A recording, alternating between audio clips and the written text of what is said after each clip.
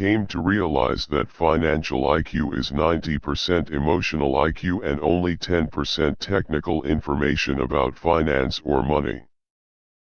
So while I'm not yet rich, I am wealthy. I now have income generated from assets each month that fully cover my monthly expenses. If I want to increase my expenses, I first must increase my cash flow to maintain this level of wealth.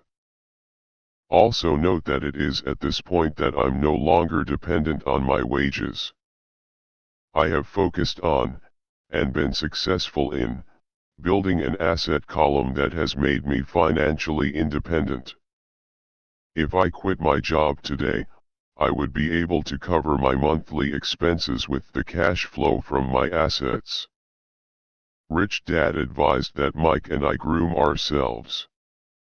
Many corporations do the same thing. They find a young bright student just out of business school and begin grooming that person to someday take over the company. So these bright young employees do not specialize in one department. They are moved from department to department to learn all the aspects of business systems. The rich often groom their children or the children of others. By doing so, their children gain an overall knowledge of the operations of the business and how the various departments interrelate. I just want you boys to have a chance to avoid the trap caused by those two emotions, fear and desire. Smart investors understand taxes before investing. No, not really, said Rich Dad. If you want to learn to work for money, then stay in school. That is a great place to learn to do that. But if you want to learn how to have money work for you, then I will teach you that. But only if you want to learn. Many people believe it is smart to save money. The problem is that today, money is no longer money.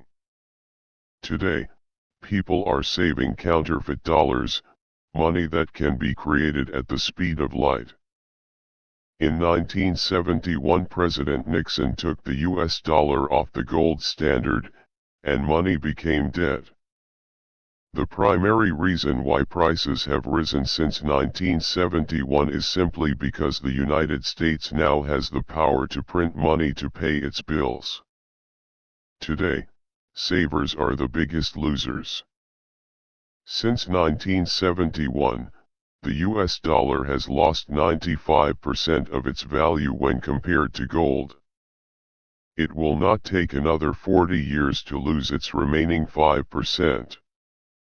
Remember, in 1971, gold was $35 an ounce. 40 years later, gold was $1,400 an ounce. That is a massive loss of purchasing power for the dollar.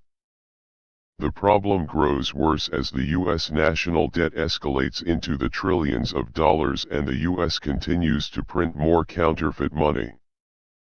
As the Federal Reserve Bank and central banks throughout the world print trillions of dollars at high speed, Every printed dollar means higher taxes and more inflation. In spite of this fact, millions of people continue to believe saving money is smart. It used to be smart when money was money. My next goal would be to have the excess cash flow from my assets reinvested into the asset column. The more money that goes into my asset column, the more my asset column grows. The more my assets grow, the more my cash flow grows. And as long as I keep my expenses less than the cash flow from these assets, I grow richer with more and more income from sources other than my physical labor. As this reinvestment process continues, I am well on my way to becoming rich. Change what you can I've learned the truth and wisdom in Rich Dad's words. So much of life is out of our control. I've learned to focus on what I do have control over, myself. And if things must change, First I must change.